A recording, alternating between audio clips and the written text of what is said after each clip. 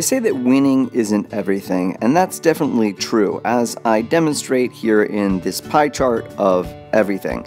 Now, as you know, I'm in Mexico for the Amputee World Cup, and so far the United States has gotten crushed in every match. We were 0 and 3 before today, but today we had our first win, a victory 5 to 1 over Germany, and I gotta say it felt amazing. Which taught me that although winning isn't everything, it is way, way more fun than losing.